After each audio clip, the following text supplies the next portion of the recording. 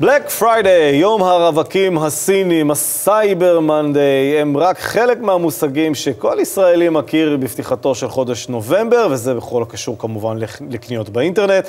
ישראל מזמן כבר הפכה להיות אה, מעצמת קניות, כאשר אנחנו ממוקמים במקום השני והמכובד מאוד בעולם. כמו כן, בכל שנה, בעשור האחרון, חלה עלייה משמעותית בקניות מקוונות על ידי ישראלים. כפי שאתם רואים על המסך בגרף. בשנת 2013 חלה עלייה של יותר מפי שניים ברכישה מקוונת על ידי ישראלים. אנחנו רוצים לומר שלום ולילה טוב לעדי בורג כפיר, סטייליסטית ומפיקת אופנה.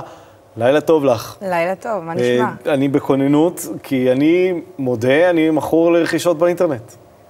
כמו כולם. כן, חלק גדול מכרטיס האשראי שלי מיוחס לשם. Uh, בהחלט uh, אני לא, לא מופתעת מזה. כמות המשאבים שאנחנו משקיעים היום אה, בלקנות אה, מוצרים באינטרנט היא מאוד מאוד מאוד גבוהה. Mm-hmm. החל אה, ממוצרי ביגוד לגאדג'טים, יש אנשים שאפילו קונים מוצרי חשמל, כן. פריטי אופנה, כל אחד באמת מה שמעניין אותו. ובאמת רואים גידול לאורך השנים. במספר החבילות, רק בשנה, בשנת 2016, כן. למעלה מ-52 מיליון חבילות הגיעו לארץ. למעלה משתי מיליארד. שזה מספרים. מה, מה קרה לנו הישראלים שהפכנו, אנחנו מתמכרים לכל דבר שהוא חולי כזה, אבל מה, מה, מה הביא אותנו לשם?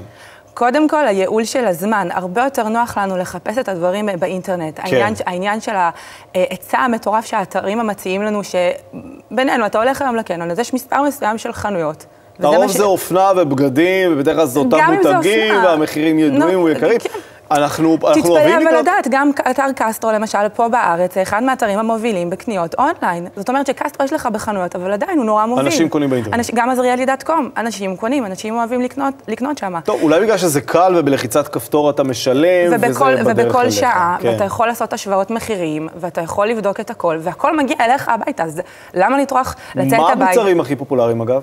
אה, ב-58% זה פריטי אופנה. אוקיי. אחר כך 38% אה, מזה זה... אה, גאדג'טים? לא, ניידים. באמת? ומוצרים נלווים, 37% זה הגאדג'טים, ו-35% זה... או 35% זה מוצרי בגדים לילדים, ועוד 35% זה מוצרי ביסום. מדהים. מדהים. אני, אני חייב לשאול אותך שאלה, בגלל שאת סטייליסטית ועושה תערוכות ואופנה במגזר הדתי, הם uh, מזמינים דרך האינטרנט במגזר הדתי? מלא. ברצינות? אני באופן אישי okay. אוקיי. מזמינה. האמת שזה מתחיל בקטנה, האמת כמה טיפים אני אתן uh, לבן אדם שלא מכיר. אני כן אגיד, uh, uh, תתחילו בקטנה, אל תתחילו במוצרים יקרים, אל תתחילו ב, כן.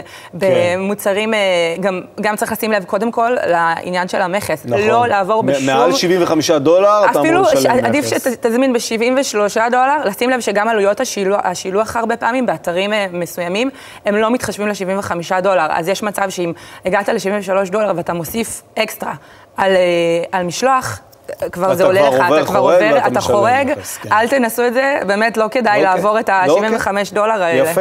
טוב, עדי, תודה רבה שבאת לאולפנינו. תודה. לילה טוב לך. רכישות מהנות. בהחלט, תודה.